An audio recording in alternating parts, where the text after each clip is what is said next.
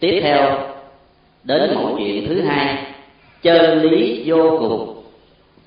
Ông lê minh đường, trước quê ở kiến phong, sau di cư về kiến an, chợ mới. Năm đức quỳnh giáo chủ khai sáng nền đạo thân mẫu ông đã phát tâm quy y thọ giáo giới ngài có một hôm thân mẫu ông bảo ông đến nghe đức quỳnh giáo chủ dạy đạo lý bà khen ngài dạy hay lắm. Nhưng ông đường không trả lời điều chi, vì còn về dặt suy nghĩ. Mãi đến mùa xuân năm canh thìn, ông đường mới cùng một người bạn đến tổ đình viếng đức quỳnh giáo chủ. Khi đến nơi, khoảng chín giờ sớm mai bây giờ cũng có tín hữu các nơi đến viếng độ vài mươi người.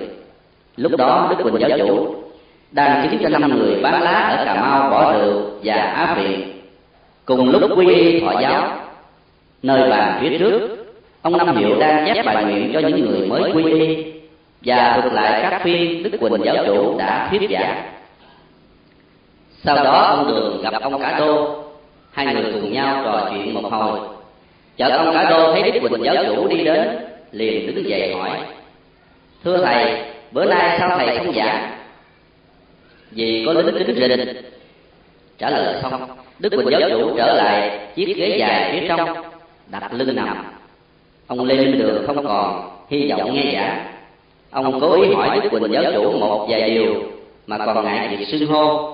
Vì chưa quy y, nên không thể gọi bằng thầy. Sau đó ông nghĩ, kêu bằng ông đạo đúng hơn. Vì đức quỳnh giáo chủ hay giảng đạo. Hết sự suy nghĩ, ông đường bước đến bên cạnh đức thầy, hỏi. Thưa ông, tôi muốn tu, không biết chân lý đi đến đâu đức quỳnh giáo chủ ngồi dậy và đứng lên rất lẹ, vỗ vai ông đường và nói, chân lý có một thôi ông à. Khi đức quỳnh giáo chủ trả lời xong, ông đường và ngài đến chiếc bàn đặt ở giữa nhà. Đức quỳnh giáo chủ ngồi vào chiếc ghế đai thứ năm, ông đường đứng kế bên hỏi tiếp, thưa ông, đành rằng chân lý có một, nhưng đi đến đâu là cùng? Đức giáo chủ đáp lại một cách quả quyết. Tôi nói chân lý có một, không có hai, mà nó không cùng. Lúc đó nhiều người trách ông đường sao hỏi cái gì kỳ cục vậy? Riêng ông đường thì thấy thỏa mãn, không hỏi nữa.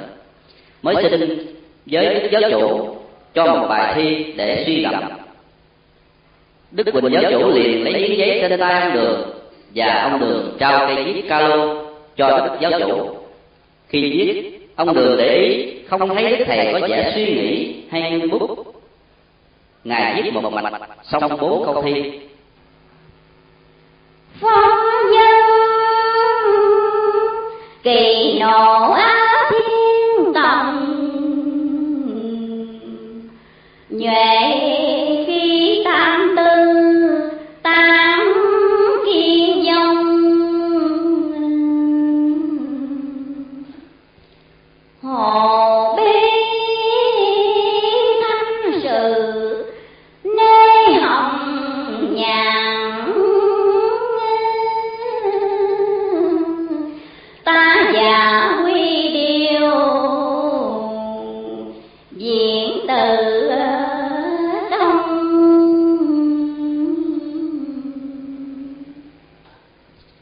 đức giáo chủ viết xong, trao cho ông đường bảo về bàn và đưa một bài nguyện quy y, dặn về xem đó mà tu hành.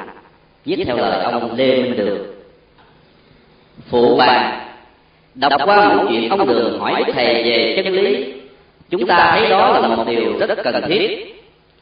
Xưa nay dù ở phái duy tâm hay duy vật người ta đều cố tìm ra chân lý nên có người tìm ra chân lý bằng cách dung tìm ra.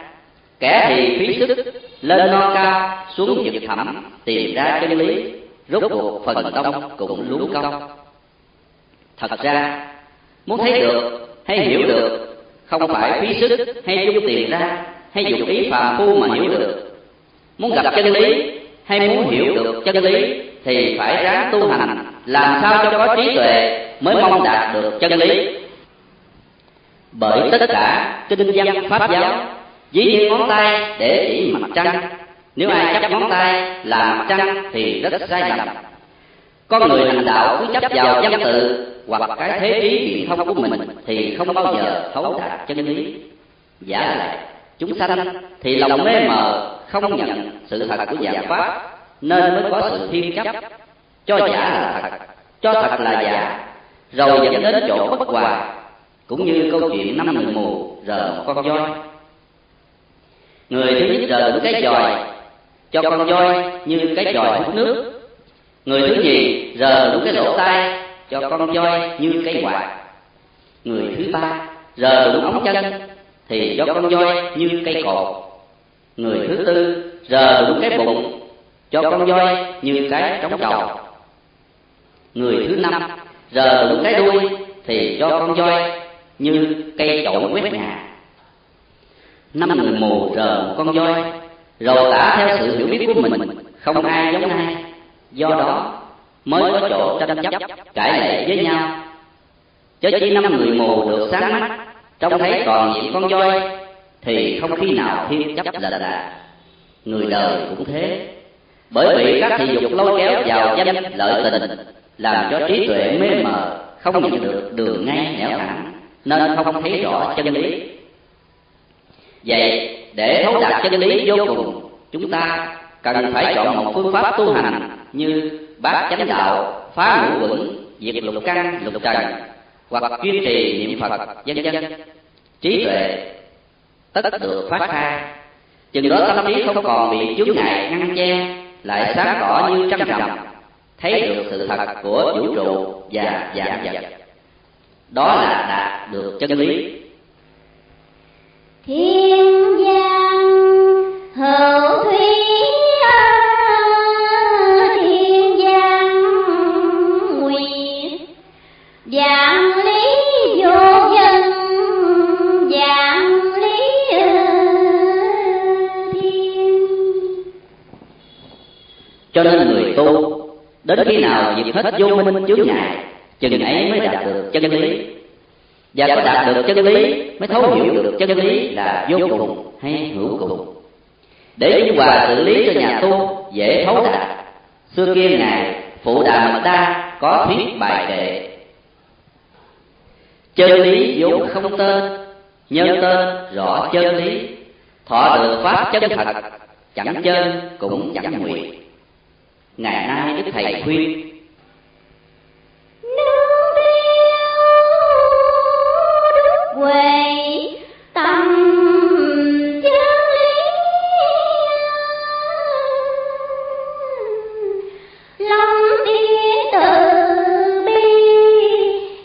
dục ở lòng.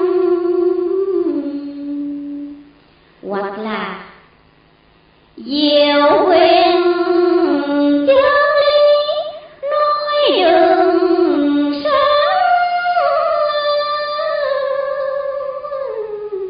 ảo